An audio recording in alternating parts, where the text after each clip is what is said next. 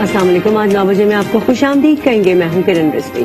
और मैं हूँ अली आबिद। बुलेटिन का आगाज़ करेंगे। सबसे पहले ज़िक्र करेंगे कराची में पेश आने वाले अफसोसनाक वाक़े का। शहर कैद में सिक्योरिटी गार्ड और डाकुओं के दरमियान फायरिंग। कमसिन बच्ची की जान ले गई। वाकया शाह लतीफ टाउन में पेश आया। लूट मार के दौरान डाकुओं और सिक्योरिटी गार्ड में फायरिंग का तबादला हुआ। इस दौरान चार साल बच्ची इज़्ज़त में आ गई। एक डाकू को जख्मी हालत में गिरफ़्तार कर लिया गया।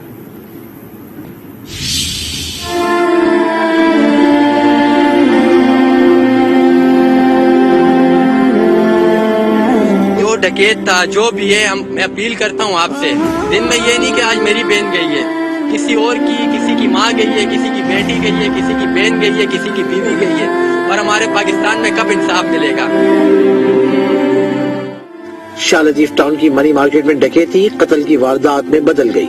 लूट मार के बाद फरार होते डाकुओं और सिक्योरिटी गार्ड्स के दरमियान फायरिंग हुई। इस दौरान एक गोली भाई के साथ मोटरसाइकिल पर सवार हरमैन को चलेगी। जिना लेकर आए, जिना वालों ने बोला, आपकी बहन अल्लाह को प्यारी हो गई है। इनके लिए बहुत आसान है कहना।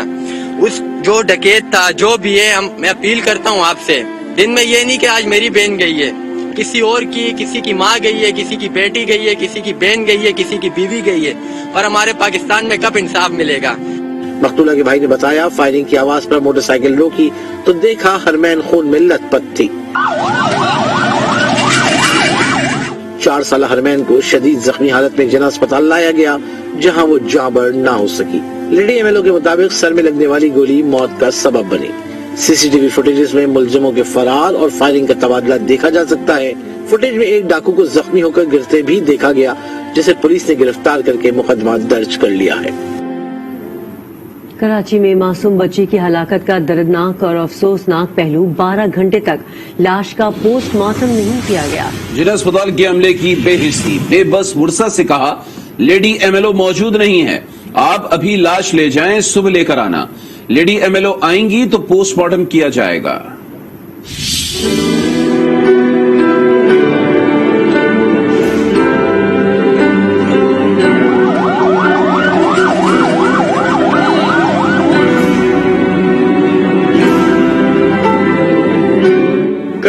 में मासूम बच्ची की हलाकत।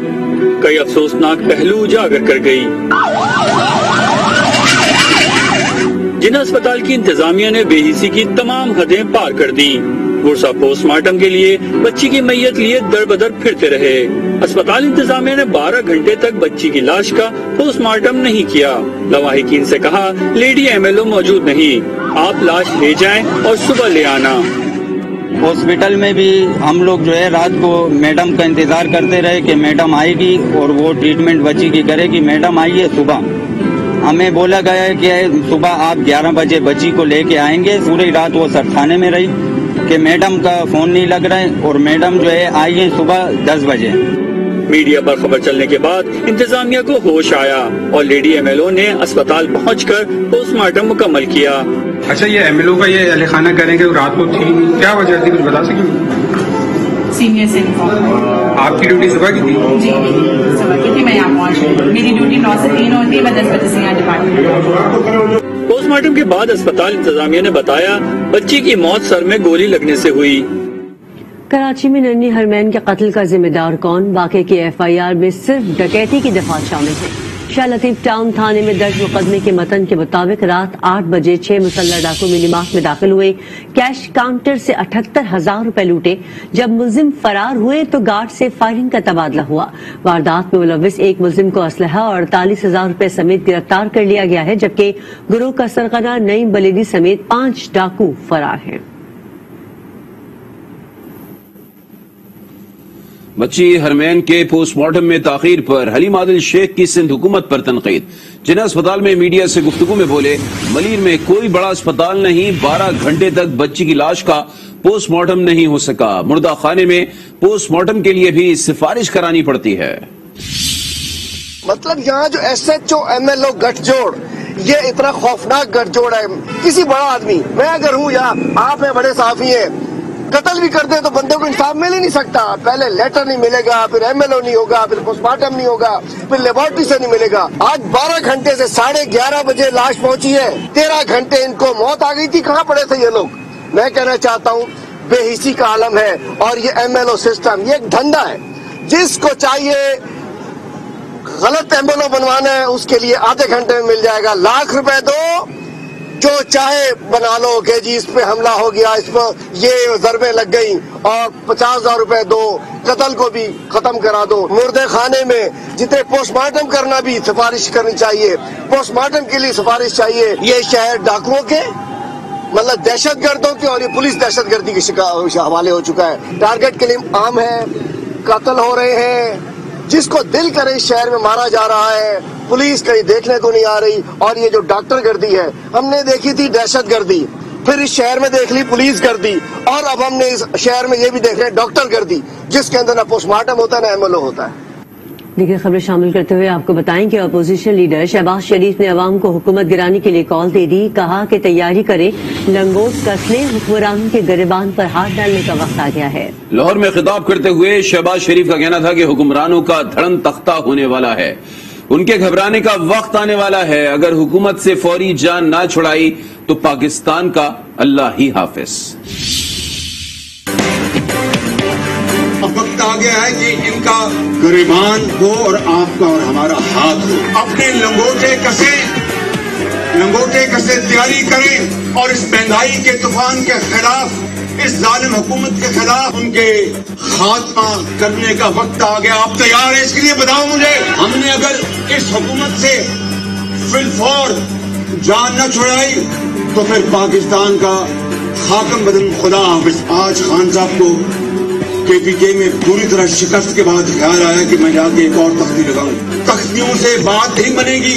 आपका धड़न तख्ता इंशाल्लाह होने वाला है आपका बिल्कुल। मैं हमेशा जल्दबाजी में जल्दी में फिक्रे कश देता हूँ। जो यार लोग हैं, हँसी मज़ाक में उसको बाजुकात बात करते हैं, कभी तंज भी करते हैं। मैं यकीनन बैका वो तो नहीं था, होश आवाज़ में था।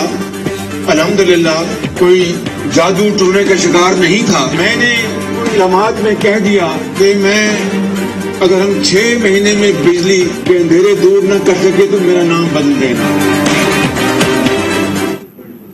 ज़िक्र करेंगे मुफामत के बादशाह का। उन्होंने भी मुजामत के लिए मैदान में निकलने का ऐलान कर दिया है। आसिफ सरदारी कहते हैं कि वक्त आ गया है कि वो विफाक में बैठकर हुकूमत का मुकाबला करें।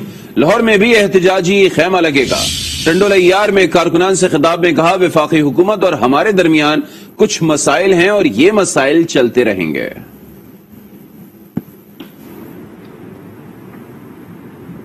वज़ीर इतलाफ फवाद चौधरी ने सबक सदर आसिफ अली जरदारी को बोना करार दे दिया। कहा, अपने कद से बड़ी बड़की ना मारे। नवाज़ शरीफ और जरदारी ने कर्जे लेकर मुल्क का बेड़ा गर्क किया। मरीम नवाज़ खैबर पख्तूनख्वा में अपनी शिकस्त का जश्न मना रही हैं। तीन साल हो गए जरदारी साहब, सिंध के लिए प्लान कब लाएँगे? कद वाला आदमी जिसका दुनिया में कद है, वो पाकिस्तान की क्यादत कर रहा है। हमारा मुकाबला जो है, वो बोनों के साथ है। आज एक और बोना में देख रहा था कुछ दिन पहले, सरदारी साहब बात कर रहे थे। आप अपने कद से बड़ी बढ़के मारना शुरू कर देते हैं। इमरान खान के कद का आदमी इनके पास कोई नहीं अभी आपने केपी का इलेक्शन देख लिया। मरियम नवाज़ जो है, वो अपनी शिकस्त का जश्न मना रही है केपी में। यानी आप देखिए कि नून लीग और पीपल्स पार्टी फारग ही हो गए वहाँ से। सरदारी साहब कल मुझे कह, कल बात कर रहे थे कि हम सिंध के लिए जो है, वो प्लान लेके आएँगे। और तीस साल तो आप वहाँ इंतज़ार करते हो गए प्लान आप कब लेके आएँगे। आप जब जाने वाले हो गए आप कह रहे हैं हम प्लान लेके आएँगे। अगली हुकूमत इंशाल्लाह सिंध में भी पीटीआई बनाएगी। मुदाखलत खत्म होगी तो हुकूमत एक दिन भी नहीं चलेगी। सबक वज़ीर आज़म शाहिद खाकन अब्बासी की प्रोग्राम फैसला आपका में गुफ्तु कहा, अदम एतमाद के लिए एक सौ बहत्तर अरकान को एक साथ असम्बली पहुँचना होगा। एफ़ आई ए नैब और पुलिस बंदे ले जाए तो क्या होगा? हालात देखकर तहरीक अदम एतमाद का फैसला करेंगे। हुकूमत चूँकि नाकाम हो चुकी है तो अपोजिशन हमेशा कोशिश करनी है कि एक तब्दीली आए। लेकिन मैंने हमेशा कहा है कि तब्दीली आईनी तब्दीली उस निज़ाम में आती है जो आइन के मुताबिक चल रहा हो। हमारा निज़ाम आइन के मुताबिक नहीं है क्योंकि यहाँ सियासत में मुदाखलत है। तो जब वो मुदाखलत खत्म होगी तो ये हुकूमत एक दिन नहीं रह सकती। हमने देखा था जॉइंट सिटिंग में क्या हुआ है तो वो कोई ज़्यादा खुश आइंद हालात नहीं थे। तो अब देखते हैं। तो अपोजिशन तो तैयार है अदम एतमाद के लिए छह सात का फ़र्क है। और वो फ़र्क जो है वो इतिहादी पूरा कर सकते हैं। मैंने अदम एतमाद के लिए कौमी असम्बली में एक सौ बहत्तर मेम्बरान वहाँ एक मुकर्रा दिन और वक्त पर पहुँचाने हैं। मेरे पास कोई फौज नहीं है कोई लश्कर नहीं है। मेरे पास एक एक सौ बहत्तर क्या तीन सौ इकतालीस मेंबर भी हों। अगर उनको सबको उठा के असेंबली ना पहुँचने दे अदम एतमाद नहीं होगा। जो रवैया हमने हुकूमत का देखा है जो असेंबली में लीडर ऑफ़ अपोजिशन को किताबें मार सकते हैं गालियाँ निकाल सकते हैं वो आपके ख्याल में हुकूमत जब जा रही होगी तो वहाँ पर तशद नहीं करेंगे? खैबर पख्तनख्वा के बलदियाती इंतबात में शिकस्त के बाद वजी अजम इमरान खान को पुराने वर्कर्स की आसत आने लगी। वजी अजम ने पंजाब में बलदियाती इंतबात के लिए तैयारियों की हिदायत कर दी। कहा, पंजाब की क्यादत पुराने रहनुमाओं, वर्कर्स से मुशावरत करे। बलदियाती इंतबात की हमत अमली की खुद निगरानी करने का ऐलान भी किया। वज़ीर अजम इमरान खान से लाहौर में वज़ीर अला पंजाब उस्मान बुजदार और सूबाई वजरा ने मुलाकात की। जराये के मुताबिक वज़ीर अजम ने पंजाब में बल्दियाती इंतबात की तैयारी के लिए पंजाब की क्यादत को टास्क सौंप दिए। पार्टी रहनुमाओं से गुफ्तु करते हुए वजी अजम ने कहा कि वो खुद बल्दियाती इंतबात की निगरानी करेंगे। पंजाब की क्यादत पुराने रहनुमाओं और वर्कर्स से भी मुशावरत करे। वजी अजम ने सेहत इंसाफ कार्ड की तकसीम के अमल को तेज करने की भी हिदायत की। वज़ीर आपाशी मोहसन लगारी ने पानी की तकसीम के मामले आरोप वज़ीर अजम को ब्रीफिंग दी और बताया की पंजाब ने सिंध की टीम को तो तोनसा बराज पर मॉनिटरिंग करवाई, मगर सिंध ने पंजाब को गुद्दू बराज से मॉनिटरिंग की इजाज़त नहीं दी, जिस पर वज़ीर आज़म ने अफसोस का इजहार किया। वज़ीर आज़म ने गवर्नमेंट कॉलेज, यूनिवर्सिटी में सूफी इजम साइंस और टेक्नोलॉजी में तहकीक के लिए बनने वाले Abul Hasan Ashazli research centre का अफ्ताह किया और चौदह करोड़ की लागत ऐसी तमीर होने वाली सेंटर की इमारत का संग बुनियाद रखा। बेल्जियम की हुकूमत अपने एडमी बिजली घर 2025 तक बंद करने पर रजामंद हो गई है। हुकूमत का कहना है कि तोानाई की फरहमी में मुश्किल पैदा हुई तो दो एडमी बिजली घरों को तोसी दी जाएगी। एडमी बिजली घर खत्म करने का आगाज़ आइंदा साल अक्टूबर से होगा। ताबकारी मवाद को ठिकाने लगाने और इमारतों को मुनदम करने समेत तमाम काम 2045 तक मुकम्मल होंगे। इस काम पर साढ़े पंद्रह अरब डॉलर से ज़्यादा अखराज आएँगे। दुबई एक्सपो में एमिरेट्स एयरलाइन का पवेलियन तवज्जो का मरकज है। बड़ी तादाद में लोग इस तरफ़ मुतवजह हो रहे हैं। इसमें ऐसा क्या है कि ये सबकी दिलचस्पी का बायस बन गया? इस रिपोर्ट में जानिए।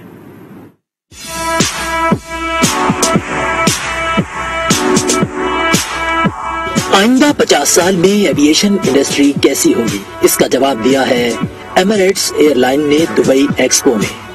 एमिरेट्स एयरलाइन के पवेलियन में जाने के लिए मखसूस चाबी हासिल कीजिए और दाखिल हो जाइए एविएशन की दुनिया की सैर के लिए। यहाँ एमिरेट्स एयरलाइन मुस्तकबिल की कमर्शियल एविएशन का ऐसा तजुर्बा फराहम करती है, जिसका कोई सानी नहीं। ऐसी जदीद तरीन टेक्नोलॉजी पेश की जा रही है, जो पहले कभी सामने नहीं आई। मुस्तकबिल में फिजाई सफ़र कैसा होगा? पैंतालीस मिनट के टूर में इसका तजुर्बा किया जा सकता है। साथ ही यहाँ रोबोट्स के ज़रिए मुस्तकबिल के तेज तरीन, हल्के और मज़बूत तैयारे बनाने के तजुर्बे से भी लुत्फानंदोज हुआ जा सकता है। यही नहीं, यहाँ वर्चुअल रियलिटी हेडसेट्स के ज़रिए मुस्तकबिल के तैयारों में सफ़र भी किया जा सकता है। और इस सब का मकसद है दुबई को मुस्तकबिल में कमर्शियल एविएशन का मरकज बनाना। अमीन खास आज न्यूज़।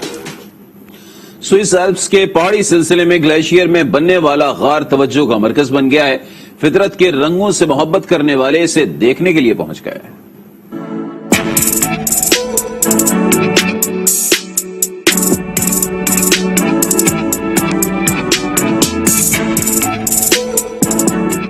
एल्प की बुलंदी पर मौजूद ये गार कुदरती तौर पर बनते हैं। फितरत के हसीन रंगों से मोहब्बत करने वाले तमाम तर खतरात के बावजूद इन्हें देखने के लिए पहुँचते हैं। इस गार की हर साल शक्ल मुख्तलिफ़ होती है।